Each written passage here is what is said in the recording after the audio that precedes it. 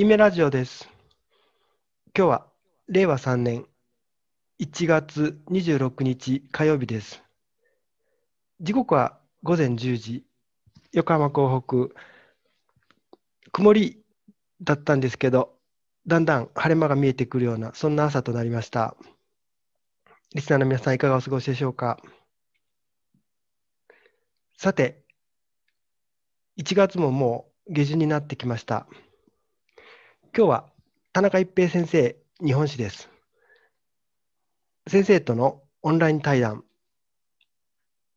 日本と朝鮮半島の近現代史、こんなタイトルでお話しいたします。ちょうど韓国では慰安婦問題に関する判決が出た、しかも日本国政府を訴えるという、割とあの、なんていうか、ショッキングなニュースも飛び込んできましたが、一体どうしてこの日本と半島および韓国っていうのはこのような関係になってしまったのか、それを理解しようと思うとき、近現代史は避けて通れません。田中先生、今日はよろしくお願いいたします。はい、よろしくお願いします。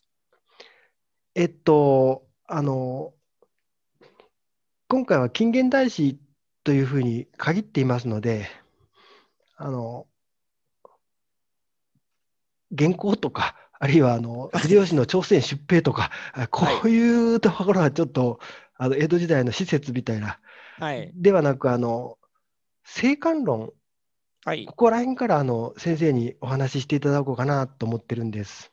はい、学校にいたときにあの歴史を学んでいたら、生還論というのが明治の初めに急に登場してくるような印象がありました。はい、そして当時すでに日本は、当時というのは明治の初期すでに日本はあの半島を征服する、そんな意図を持っていたんだみたいな、そんな教え方を私はされたんですけど、はい、しかもその生還論を担っていたのが、あの西郷隆盛だったということになって、どうして そもそも西郷さんがこの生還論を解くのかなとか、あるいはその生還論に板垣や江藤までが、えー、と従っていったというに及び、一体急に出てきたように見えるこの生還論って何なんだろう？そんなことを思っていて、実はその疑問は今も消えないんですが、先生、この生還論とは何だったんでしょうか？はい、えっ、ー、と、まずは明治初期の明治政府の状況ですね、それを少しご説明しますと、はい、1869年の5月に戊辰戦争が終わります。はいえー、五稜郭の戦いですかね。はい、で、まあ、それ以前からほぼ明治政府の勝利は確定的だったと言っていいです。はい、で、その直後ですかね、69年の7月に反石奉還という形で行われて、はい、71年の7月に廃藩置県です。うんうん、でまず、廃藩置県から明治政府の本格的な指導っていうふうに理解した方がいいです。うん、というのは、廃藩置県までは藩が残りますので、はい、で藩石奉還で大名は地藩寺に任命されて、はい、天皇との主従関係が明確になりますが、うん、えー、藩の統治は基本的にその地藩寺が行います。うん、でこれも大学受験では多分やる話なんですが、島津は薩摩の地藩寺。で、毛利は、そうですね。で、毛利は長州藩ですね、萩、はい、まあ、山口藩という名前になるんですけど、はい、山口藩の地藩寺なので、変わってないんですよね、基本的に場所が。で、そうすると、江戸時代の後半は基本的に天風っていうのがめったにありませんので、うん、まあ、自分の藩は自分のものだっていう意識がやっぱり大名の中には当然あるんですね。で、そうなってくると、なんて言うんでしょう。明治政府が例えばいろんな改革をやろうって言って地藩寺に促したとしても、地藩寺がそれに応じるかどうかってわからないんですね。要は、明治政府の命令を地藩寺が実行するかどうかはわからないんです。で、これは江戸時代以来、基本的に大名の藩の支配っていうのは大名に委任されてますので、あのこれも結構誤解があるんですけど、武家諸法度を守っていれば、大名は藩の統治は自由にできるんですよ。でもっと言えば、バレなければ、もう言い方は良くないですけども、なんかあの中学生とか高校生みたいな発想になってますけど、幕府にバレなければ問題ないんですよ。うん。なんか中央集権とは呼び難いですよね、その江戸江戸のそのそれって。で、一方で面白いのが、うんうん、天風ができるんですよ。あそうか例。えば、同じ10万石の石高だったら、うん交換して OK だよねっていうのが、その、まあ、石高制と呼ばれるものなんですけど、オフィシャルな数字なんですよ、10万石っていう数字は。うんで、これはまああの共通テストでも実はちょっと出題されたんですけど、うんうんうん石高っていうのがうんランキングになるんですよ、大名の。例えば10万石の大名同士は、その参勤交代で江戸城の時に将軍に挨拶する際に待つ部屋みたいなのが、ある程度同じだったりするんですよ。で、よくあの、不だ不代大名と戸様大名と審判大名であれ格付けだみたいな言い方をよくするんですけど、まあ、受験日本史ではそういう言い方するんですけど、やっぱりね、大きいのは石高なんですよ。で、その石高が同じだったら、取れる年貢の量は同じだから、転封して構わないよねっていうのが基本的な江戸幕府の論理なんですよ。家臣養えるよねってことだよねそう。んうん秀吉からまあそうなんですけど、うんで、これって一生懸命を否定する論理うんなんです。ってことは中央集権的なんですよ。つまり、その意味では、あ、そうか。そうなんですよ。江戸時代って中央集権的だけど地方分権的なんです。うん。割とユニユニークなんです。いや、そうなんですよ。か江戸時代ってやっぱ面白いですよね。そういう意味では。よくで、うんまあだからよくできてるなとは思います。そのバランスが取れてるというか、なるほどな、みたいなところはあるんですけど。うん薩摩の実情っていうのは江戸からは分かりにくかったはずなので、その意味では地方分権にしとくべきなんだけど、けど、じゃあ薩摩が言うこと聞かなくなったら困りますから、その意味では中央集権的なものも保持しておくみたいな、こんな感じでしょうか？そうですね。あとはまあうん参勤交代で定期的にやっぱり大名を江戸に呼んで、うん地元にべったりにさせないですし、大きいのは大名の、えー、と奥さんと子供が必ず江戸にいなきゃいけない。うん嫡男が江戸にいなきゃいけないんですよ。ってことは、次の藩主は江戸育ちが多いんです。あだから島津成明がずっと江戸育ちだったんだってことね。薩摩弁喋れないみたいな。そうそうです。なるほどまあ、あんまり大きな声じゃ言えないですけど、そうすると、まあ、薩摩より俺、江戸の方がいいようんな、うんみたいな。うんまあ、これ言ったらもう藩からソース感ぐらいいますけど、で、藩士たちからすると、やっぱりそんなに親しみがないお殿様っていうことになるんで、これはやっぱり江戸幕府が長く続いた一つの大きな要因でもあるんですね。うんうんうんってことは、あの、戸様大名とはいえ、あの、薩摩77万石とか、加賀100万石っていうのは、やっぱりすごかったってことですね。あ、そうのです。えっ、と、島津の場合は薩摩一国支配してますので、これ国持大名っていう言い方をするんですね。その旧律令制の旧国を一国支配している大名っていうのは、あの格が非常に高いんです。うん。だから前田も高いですし、うん。あとは毛利もそこそこ高いですね。国持大名ではあるので、あとは鍋島とかですかね、佐賀藩鍋島ですとか、まあ、御三家の3つはもう言うまでもなく、うんすべてが国持大名ですから、はい。はい。で、その、廃藩置県が、えーっと、1871年、明治3年ですね、にそうですね。はい。起きて、で、さっき、地藩寺っておっしゃられたのが、あの、県令みたいになるのがこの頃なんでしょうか？そうです。えっ、と、廃藩置県の時に、地藩寺が全員罷免、うんクビになります。うんうん、で代わりに、明治政府が任命した府知事や県令が派遣されます。ああ、うんうん。なんかで伊藤博文が、ね、初初の兵庫県令とかなんとかあそうです、そうです、うんそうです。それいはこの辺りの頃ってことですかね。そうですね。じゃあ、伊藤もまだ若かったのは、あ、なるほどってことだよね。30そうですね手前のね。はい。で、えっ、と、この廃藩置県の後、うん一応その、府知事や県令が明治政府の任命だっていうのがまずポイントで、うん。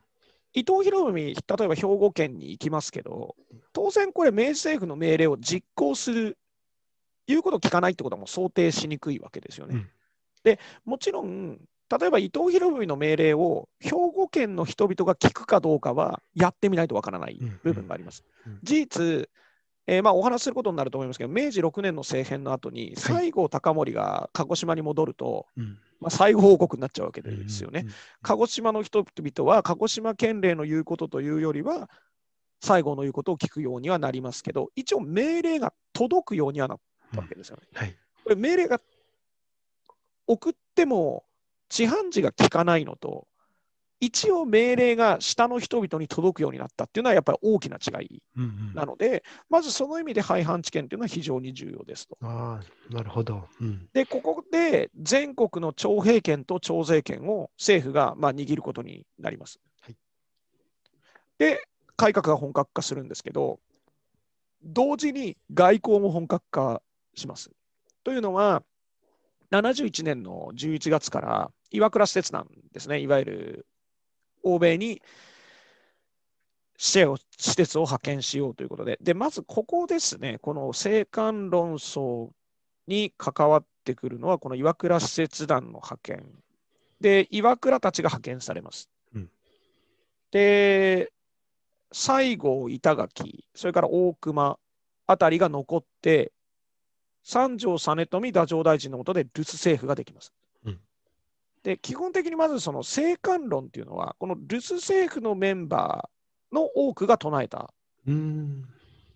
ものということになります。で、えっ、と、岩倉使節団のメンバーと留守政府のメンバーの間ではですね、急進的な改革はそんなにやらないっていう一応取り決めがあったんですけど、まあ、留守政府は実際にはいろんな改革を進めていきます。多分受験生が聞いたことのある徴兵令ですとか、はい。基礎改正、それから学生ですね、1872年の秋ですけど、学校教育制度を整えていこうっていうような、で、あそこら辺の話は全部この留守政府の時期にやってます。岩倉使節団が帰ってくるのが73年の夏ですので、はい徴兵令も基礎改正ももうその前に実行されています。で、えっ、と、背景を言うと、留守政府が改革をやった背景としては、岩倉使節団のメンバーに対抗する意味合いがあったと思われます。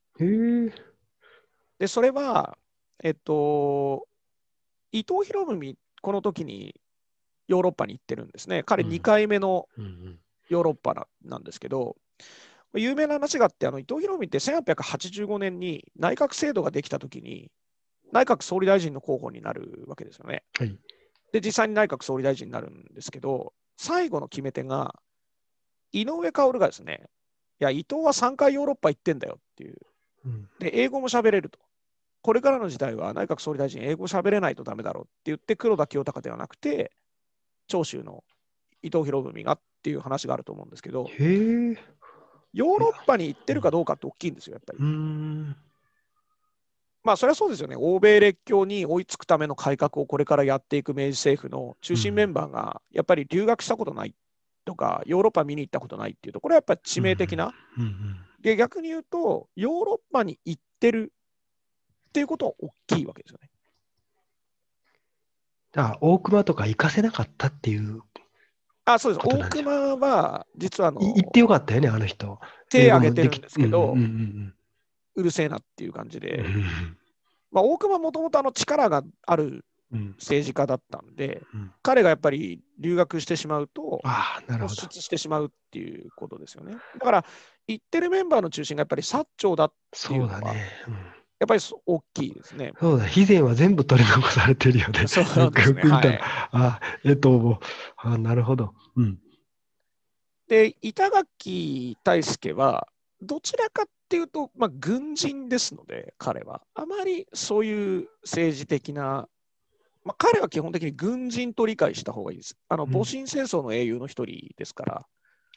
へえ、板垣は軍人と見た方がいいってことあですか？そうですね。はい。なんか、なんか、ね、自由民権運動の平和の、ね、なんかあ文化みたいな気がするけど、はい全然違う。自由民権運動って、最初軍あの、武士たちがやってますから、やっぱりそれをまとめるとなると、板垣大輔うですね。ちょっと自由民権運動って僕らが聞く平和な、なんかその文官がね、その薩長の横暴に対して、でしかも薩長の方に軍隊とか警察があって、自由民権運動は市民の味方だみたいな、ちょっと違うね、全然。あそれは、えっ、と、ちょっと一方的な捉え方かなっていう、うんまあ、あの少し多分、生還論やるときのお話はしなきゃいけなくなると思います。はい。はい、はい、はい。それで、えっと、留守政府の間でも、このまま、えっと、約束通り急進的なことやらないっていうんで何にもしなかったら、まあ、日本が立ち行かないっていうのもあるけど、それだけじゃなくて、あの何かあの功績を残しておかないと、留学組に負けちゃうぞみたいな、そういう対抗意識もあったみたいに思ってていいでしょうか。そうですね。はい。それで、えっと、1970、1800 1873年の夏に、えっと、まあ、使節団も帰ってきて、ではいそこで突如として、なんかあの大久保や、えっと、岩倉は西郷たちが生還論を言い出すのを聞いてびっくりしたみたいな、そんなあの、えっと、なんかドラマではそういうふうに描かれているんですけど、まあのはいそれはそうなんでしょうか？えっと、まず、えっと、朝鮮と日本の関係を少しだけ簡単に振り返りますと、はい。江戸時代に朝鮮通信使っていうのが朝鮮から日本にやってきています。で、これがですね、19世紀の頭ぐらいまでですね、将軍でいうと11代家成の頃はい。に来たのを最後に、うんえっと、日本側がやっぱり財政難で、このうん朝鮮通信使をこうもてなす、あの日本側が全部費用を持つんですよ。うんで、これはなんでかというと、日本は自分たちが中華だと思っているので、あの朝鮮を下に見てますので、はい。でそうすると中華として、なんて言うんでしょう、徴工してきた外交施設を、やっぱり費用を出してもてなすっていうのが、これ当然の考え方なので、で、どうしてもお金がかかるんで、財政難になってくると、もうそれがしがたいというのが一つと、まあ、何回かその復活させようっていう考え方あったみたいなんですけど、やっぱり日本がこう幕末の戦争で混乱していたっていうのもありまして、1810年代を最後に朝鮮通信使の派遣っていうのは、まあ、断絶して、日朝の国交もなくなってる状況なんですね。で、当時の清は、大あごめんなさい、当時の朝鮮はですね、大院君っていう、はい。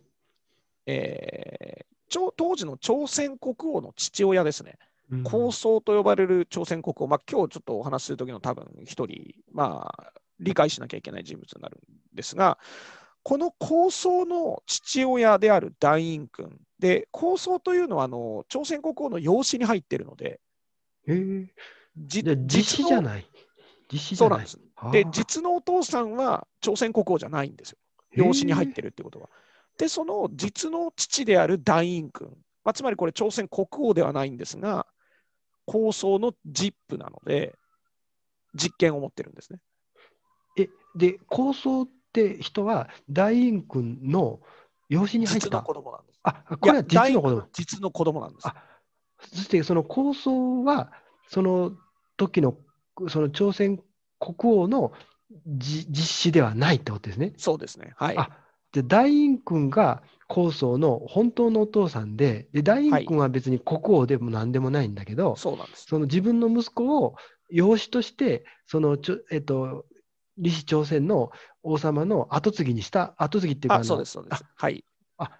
なるほど、大院君と高僧が本当の親子関係で、はい高僧は、あそれをちょっと抑えたいと思います。はい。であの、うんもちろん、あの、二人は当然、朝鮮王族の血は引いてます。じゃないと、あの、養子っていう話が出てきませんのでう。んうんうんうんうんで、この大院君がですね、まあ、日本の鎖国政策に近いような政策取るんですね。はい。というのは、基本的に中国清と朝貢作法の関係にはあるんですが、うんそれ以外の国とは積極的な外交貿易は行わないと。うんまあ、あんまり僕、ちょ朝鮮史は専門ではないので、詳しくはないですが、上位政策っていう言い方をするようです。はい。朝鮮には朝鮮なりの上位があったってことですね。まあ、そうですね。はい。うんまあ、ただあの、この時代の東アジアの国は、あの基本的にこういうような形で、どちらかというと閉鎖的ですね。まあ、全く関係を持たないわけじゃないですけど、例えば清なんかも、アヘン戦争まではヨーロッパとは基本的にあの関東でしか貿易をしませんし、で、えっ、と、日本とは国交はないですからね、あのうん民間貿易はやってますけど、で、うん。日本の側も、朝鮮とは一応国交があったんですけど、今お話しした通りに19世紀の初頭に断絶してますし、中国とは民間の貿易しかしてません。で、あとは日本の場合は琉球とか蝦夷地ですね、アイヌの人たちと交易はやってますけど、ヨーロッパとはオランダだけですから、うん。この当時のまあ東アジアの外交のトレンドが貿易を基本的には制限するっていう閉鎖的なやり方で、まあ、うまくいってたってことですよね。うまくいってたというか、ある程度、なんて言うんでしょう、問題がなかったっていう言い方ですかね。はい。人の行き来はかなり制限されていたってことですね。そうですね。うんはい。貿易はしても。はい。はい。うん、でこの大院君っていうのは自分が王様でもないのに、自分、まあ、皇族の一人だということで、自分の息子を養子にしたということから、なんか、あの、なんか隠然たる力を持ってきたみたいな理解でいいんでしょうか？はい。まあ、日本でいう陰性みたいな。あ、陰性みたいな。うんうんはい。で、はい構想が若いんですよ、年齢が。。うんうんなので、まあ、国王として実権は持ってないので、うんその意味で大院君がこの当時は主導権を持っていて、で、明治政府は成立した直後から朝鮮との国交を樹立するための外交の施設を派遣してるんですね。はい。はい。で、えっ、と、少しここで外交の考え方の話をしなきゃいけないんですけど、はいはい前近代の東アジアっていうのは基本的にこう作法朝貢と作法っていう関係で、まあ、東アジアにおけると、まあ、中国がやっぱ一番上位に来る。で、周辺国はまあ中国が強ければ朝貢するいう形になるんですけど、近代に入ると、この中国を頂点とするやっぱり作法体制とかっていう考え方ですね、まあ、それから中華思想とかって言ったりするんですけど、作法体制が外交秩序で、中華思想がそれを支える考え方っていうことになるんですけど、まあ、否定せざるを得なくなるんですね。うんなんでかっていうと、欧米列強がやっぱり力が強いので、中国はやっぱり文明国ではないですから、うん反文明国みたいな位置づけなので、その反文明国である中国を、なんて言うんでしょう、東アジアの頂点だっていう言い方をしてしまうと、日本が文明国になれないんですよね。うんで、そうすると、秦が頂点にいるっていうその中華思想であるとか、作法体制という外交秩序は、日本としては否定しなきゃいけないんですよ。うんで、そうすると、もう一つし否定しなければいけないことが何かっていうと、朝鮮が秦から作法を受けているっていうことも否定しなきゃいけない。うん体制自体を否定しなければいけないので、で、これがもうまず日清戦争の根本的な要因になります。うん日本が近代化するためには、近代化していなかった秦を、まずあの、えーと、トップだというふうに見なすことができなくなり、そはいの秦にくっつくっついてる従属国みたいな半島も、朝鮮も、えーと、その、その秦秦の家来だみたいな、えーと、い位置づけをはい。やめてもらわなきゃいけないってことですね。で、またこれがね、だから、だから半島の独立を言ったのか。あのそういうことですあ。で、一方で、あの、秦って結構都合のいいことも言っていうんうてん、それは何かっていうと、基本的に中国は超公国だっていう言い方をするんです。うんしてきてると、自分に。うんで、それは従属国ですよね。うんまあ、事実、朝鮮国王に任命するわけですから。うんうんで、その代わり、その代わりと言ったら変なんですけど、その一方で、中国の皇帝が朝鮮国王の統治に口を挟むかというと、これ実際には挟まないんですよ。で、例えば、これこの後まあ日朝関係ってどちらかといえば悪化の一途をたどっていくわけですよね。例えば高架島事件、日朝修好条起って、まあこれ順番にお話ししますけど、はい。朝鮮は当然、清に対して、まあ、助けを求めるというか、どうしたらいいだろうかみたいな、例えば働きかけをするわけですよね。まあ、うんうんうんてか、そのために徴工してる部分はあるんで、で、そうすると、清は何を言うかっていうと、いや、朝鮮は、君、独立国なんだから、自主の姿勢でやりなさいみたいなことも言うんですよ。うんつまり、めんどくさいことには関わりたくないから、朝鮮の。例えば、朝鮮に対して日本が何かめんどくさいことをいろいろ要求してきたときに、うん朝鮮が例えば清に助けを求めたときにですよ清の側がそれを助けると、日本と対立してめんどくさいことになる可能性が出てくるわけですよね。なので、そういうめんどくさいことに関わりたくない朝鮮は、あ、清は何て言うかっていうと、いやいや、朝鮮、君は自主の国でしょ、自分で判断しなよみたいなことも言うんですよ。うん結構都合いいこと言うんですよ。諸場代いつも払ってるのに、なんかあの、やられてきたら、守ってくんない組みたいな感じで。そうそうそう。で そうすると、ごめん、なんか変な例で。あはい。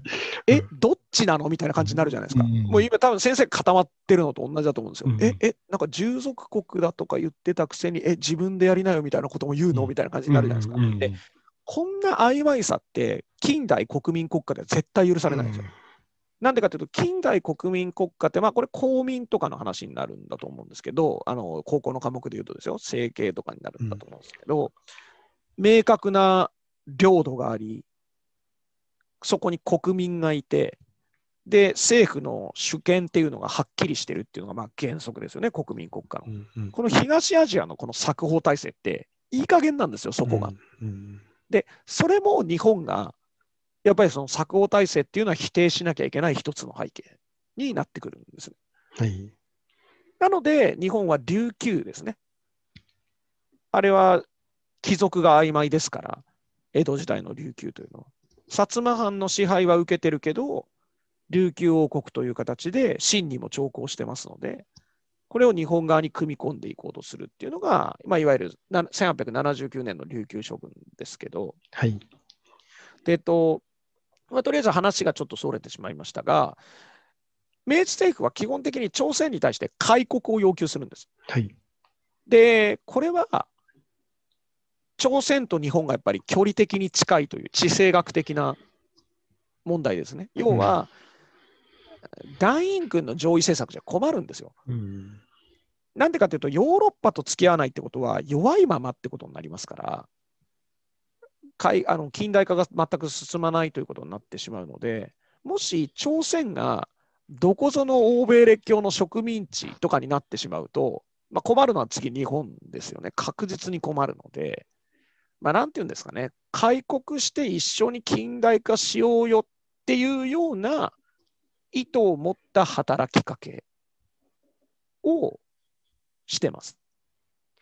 半島のことはどうでもいいやんかと、彼らがどどっかの、ね、従属国になりたいならなっときゃいいじゃんかと、うち関係ないという態度は、明治のあの政府首脳は取れなかったわけですね。そうですね、それは絶対にありえないです。で、まず、近代の日朝関係を見るときに、日本側からまあ朝鮮を見るってときには、まずこの視点は絶対必要です。うん常にその朝鮮半島が、まあ、なんて言うんでしょうね、安全であるという言い方がまあ適当かどうか分かりませんけど、うんうん。この状態が日本の安全保障にとってはやっぱ大きいんですね。ってことは、朝鮮半島が近代化一緒にしてくれたら、それが即日本の国益であるっていう、そういう考え方が、あのはい。一致の意見としてあったんでしょうね。ある程度はありますね。はい。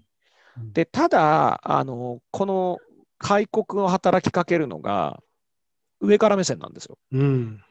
で、これはアジア主義っていう考え方うんに基づくものですね。どちらかというと、日本がアジアを引っ張っていくんだっていう、まあ、これ、近代の思想史で、まあ、やっぱり一つは見落とせないところなんですけど、で、そのアジア主義ってアジアで一体になるっていう、まあ、アジアはアジアでとかっていう考え方にもなるんですけど、日本人がアジア主義を唱える場合は、中心は絶対日本なんですようん。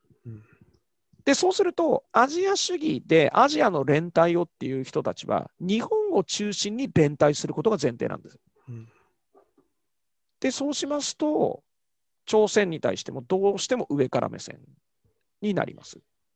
で、この明治政府の開国の働きかけを大院君政権は全部拒否します。うん。で、それに対して、朝鮮を武力開国すべし。これが生還論です。あなるほど。うん。はい。それまで開国の働きかけを、えーあの明治政府がやっていたのは、その地政学的に半島を放っておけないからだったのに、その半島が別にいつまでたってもその近代化の呼びかけにも応じないし、開国にもしてこないから、それだったらもうこっちが強引にやってあげなきゃいけないよねっていう、こんな、えっと、こんなな、そんなラインでしょうか。はい、そうです。うんはい。で、そして、高架島事件でしょうか。いや、えーと、まず、生還論がなぜ出てくるかっていうのをうんもう一つ話をしなければいけなくて、正直言うと、これは、えっ、と、まず、日本国内の問題があるんですよ。というのは、留守政府が急進的な改革を進めます。で、はいとりわけ徴兵令、うん。これに対する不平士族の反発ですよね。うん。まあ、自分たちの特権が奪われることになります。えっ、と、少し説明をしますと、江戸時代の武士は、えー対外的な問題があったときは命を懸けて戦うのが一つ役割になります。その代わり、えー免税特権を持っています。税金を払う必要はありませんそうしか、武士は免税。はい。そうですう。んあの、現在の公務員とは全く違います。現在の公務員は、国民の税金からお給料は支払われてはいますが、税金を払ってますので、あそうだね。まあよくここ結構勘違いしてる方多いですけど、で、武士は税金は払わない。大体しかもそもそも年貢を百姓たちから取ってる。うん。その年貢の中から家禄と呼ばれるお給料が支給されてるわけですよね。うん。うん。で、それはなんで武士にそんな権利があるかといえば、戦の時は命を懸けて守るから。で、つまり江戸時代というのは、戦うっていうのは武士の仕事なんです。うん逆に言うと、百姓がやっちゃいけないんです。なんでかというと、やってしまうと、年貢取る根拠がなくなってしまうんですよ。で、徴兵令って、国民開閉ってよく受験で強調するんですけど、まず大事なのはそこなんです。国民全員といってもまあ男子ですし、もちろんあの、まあ、国民開閉といっても健康診断がありまして、甲乙平定のち、うん甲乙じゃないと徴兵されない上に、うん最後はあのくじ引きで決めますから。あの甲乙で甲乙になった人が全員徴軍隊に行くわけではないんですね、当初は。うんあのくじ引きもありますし、であとあの受験生はよくご存知だと思いますけど、免除規定ですよね。例えば長男とか腰は行かなくていいとか、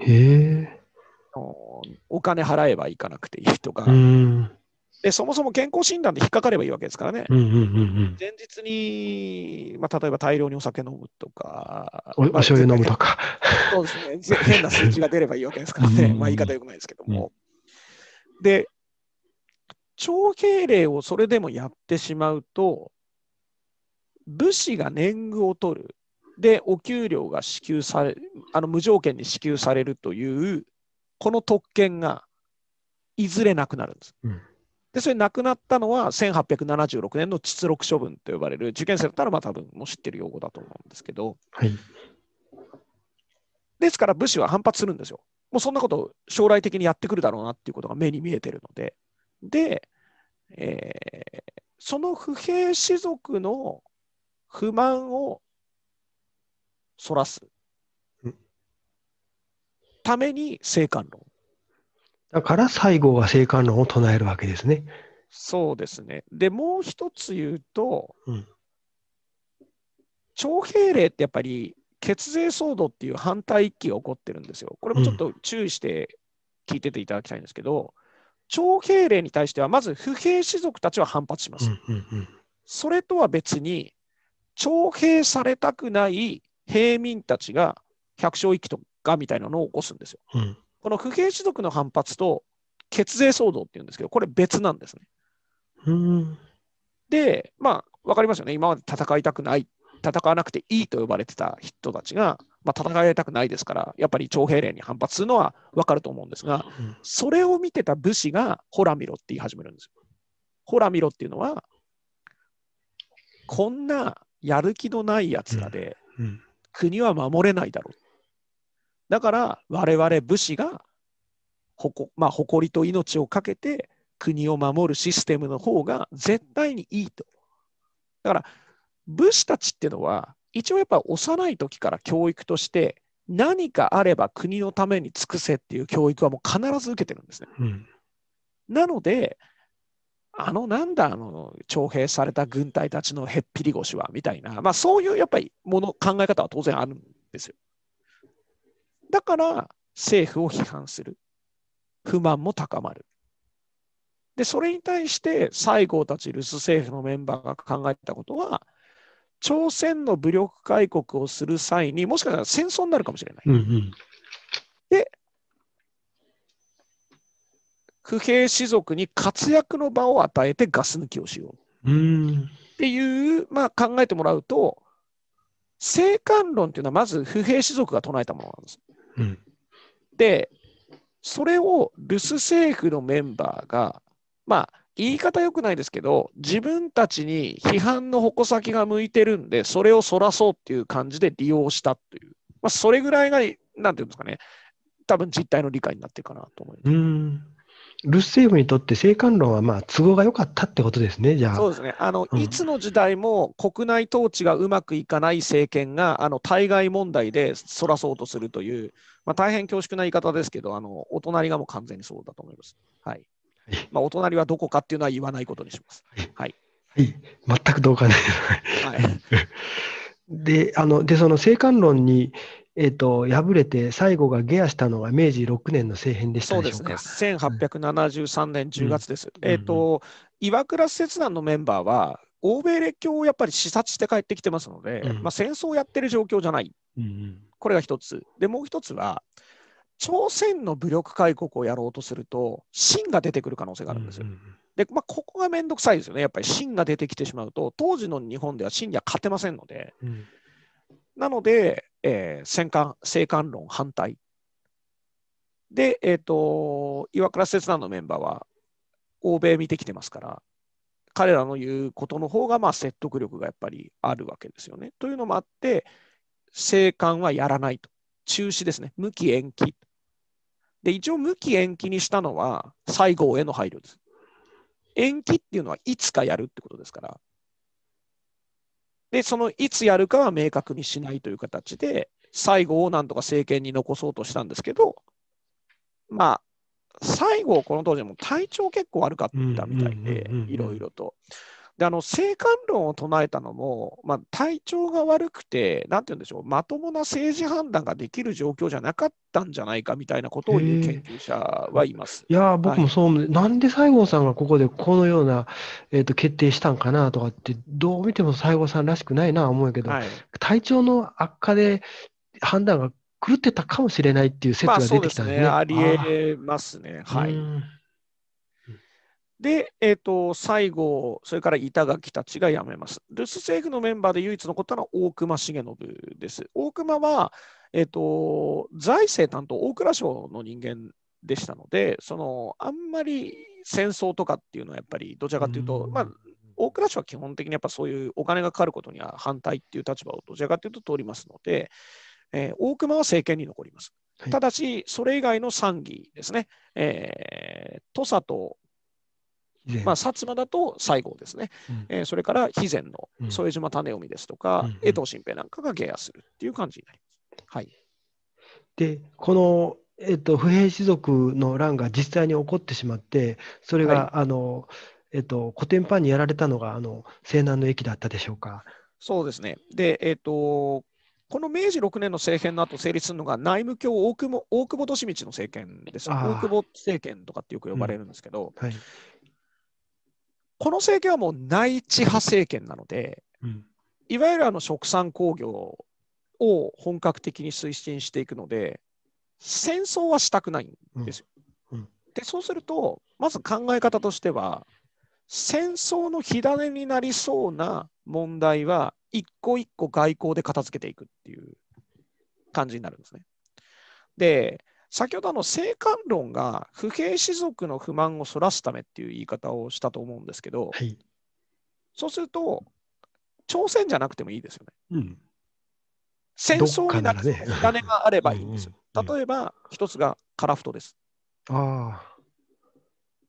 えっ、と、これも受験生は多分ご存知だと思うんですけど、1854年、えっ、と、和暦で54年、ロシア暦で55年に日露和親条約が締結されていて、うん国境を引いてるんですよ、この時に。はい。エトロフ島とウルップ島の間に国境を引いて、はい。エトロフ島より南が日本領。ウルップ島よりも北側ですね。まあ、き北千島とかって言い方しますけど、これがロシア領。カラフトは国境を定めない。で、江戸幕府はアイヌのいるところは日本領だっていう主張をするんですよ。うん。これもまた結構に江戸幕府としては都合のいい考え方なんですけど、あの当初はアイヌの住んでるところは外国だって言ってたんですようん。だから松前藩以外は外国なんです。あの蝦夷地っていう言い方は北海道全体を指すって思ってる方が結構いらっしゃるんですけど、うん厳密に言うと蝦夷地っていうのは和人の支配が及ばない地域なんですよ。うん。だから松前藩は除くんですよ。で、ところが、18世紀の後半以降ですかね、ロシアがだんだんこう繰り返し、あのラクスマンとかレザノフとか、多分まあご存知だと思うんですけども、北海道に接近してくると、江戸幕府は急にアイヌとロシアが手を組むのは困るっていう発想に当然なるんですよで、アイヌの人々を日本に組み込んでいこうとするんですよ。で、でアイヌのいるとこは日アイヌのいるところは日本になると。うんうんで、カラフトにもアイヌはいるんです。うん。なので、カラフトは日本領だって主張するんです。で、ロシア側も、いやいや、カラフトはうちのもんだろうみたいな。で、これで揉めてるんです、実は外交交渉が。なので、えー揉め事を回避する一つのやり方として、カラフトの国境は決めない。いわゆる先送りですね。その和親条約の時ですね、日露の条約。うんはい。はい。で、そうすると、うん日本人もロシア人もどっちも住むってことになるんうんですよ。うんで、まあ、これはやっぱりトラブルのもとになりますよね、どうしても。だから、あの、明治の、あの、最初の頃にこのカラフトでいろんな事件が起きたっていうのは、こういう背景があったんですね。そうです、そうです。で、その事件が起こると、不平士族が騒ぎ出すんですよ。うんうん。要は、ロシアやっつけろみたいな感じで、で、ロシアはまずいんですよ。これは絶対まずいんですよ、明治政府ロシアは。勝てないですから。うんうん。で、カラフトってまあ、一応北の方に、この後ですけどね、もう少し後になって石油が発見されて、北カラフトは結構魅力的なんですけど、今の明治政府には、ロシアからカラフトを取るような体力もないし、不平士族が騒ぎ出すのは困るので、1875年にカラフト千島交換条約を締結して、カラフトはもうロシアに。その代わり、千島列島のウルップ島以北がロシア領ですから、それを一応、シュムシュ島まで、えー日本領にすると。で、あのラパッカ岬ですかね、カムチャツカ半島からがロシア領っていううんうん取り決めをして、これが簡単に言うと、戦争の火種をなくすための外交。うん。ああ、なるほど。うんはいで、もう一つ、その戦争の火種が台湾問題なんですね。これ、琉球処分に関わってくる話なんですけど、1871年に、えー宮古島ですね、先島諸島宮古島の日本、まあ、日本人と言っていいのかどうかっていうところになりますけど、まあ、宮古島の人々が琉球本島に、沖縄本島に食料を運んだ帰りに、まあ、年貢を運んだ帰りにってことですけど、台湾に漂着するんですよ。うん。で、原住民とトラブルになって殺害されるんですよ。ああ。琉球漁民殺害事件うんと呼ばれる出来事なんですが、71年の12月ですね。で、これめぐって日本と清の間がトラブルになってるんですよ。うん。で、日本が謝罪しろって言うんですね。で、それに対してまたね、うまい言い方するんですよ、清が。琉球はうちの領土だけど、要は原住民たちは、まあ、なんて言うんでしょうね。我々としてはもう、なんていうんですかね、管轄外だみたいなこと言うんですよ。要はそんな、うん。そんな原住民までいちいちあの管理してない。支配できない。そううんはい、だから、謝罪するつもりはないみたいなことを言って、で、それを聞いて明治政府の中に出てくるんですよ。例えば、琉台湾をやっぱり謝罪させるべきだみたいな。台湾の原住民謝罪させるべきなんだみたいな。で、ちょっとめんどくさいんですけど、西郷隆盛は政府を離れましたが、弟の西郷嗣道、はいこれは明治政府に残ってるんです。で、彼が生態論を主張するんです。台湾を征伐すべし。で、行われるのが台湾出兵。うん1874年ですけどね。で、これをちょっと少し説明しなきゃいけないんですね。というのは、え明治政府内地派政権なんだから戦争をやらないんじゃないのかよ。なんで台湾に出兵するんだよって、まあこれ受験生なんか必ず質問してくるところなんですけど、うんこれなかなか笑えない話がありまして、えっと、台湾出兵が74年の4月だったかと思うんですけど、この直前に江藤新平が佐賀の乱を起こしてるんですよ。うんで、大久保利通は江藤新平のこと大っ嫌いなので、うんうんあのぶ彼、文官なのに自ら軍隊を率いて鎮圧に行くっていう、なかなかあうんの過激なことされてるんですね。うんで、大久保利通が東京にいなくて、統制が取れない、その状況の時に、西郷嗣道が勝手に軍隊出したんです。台湾にね。はい。はで、佐賀で江藤新平の乱を鎮圧して、佐賀の乱を鎮圧した大久保は、電信でその情報を東京から受け取るんですよ。あ。うん。で、慌てて長崎に急行するんです。というのは、西郷嗣道が長崎から出兵しようとしてるので、三菱の船で出兵しようとしてるのを聞いて、慌てて長崎に急駆けつけるんですけど、タッチの差で間に合わなかったっていう。うーん。ってことは、大久保はこの台湾出兵は賛成してなかったってことですね。どちらかというと、んんはい、消極的ですね。で、あと、ただ、これ難しいのが、この台湾出兵とか、この不平士族の、例えば青函論もそうなんですけど、表でやって反対すると、弱腰だって言われちゃうんですよ。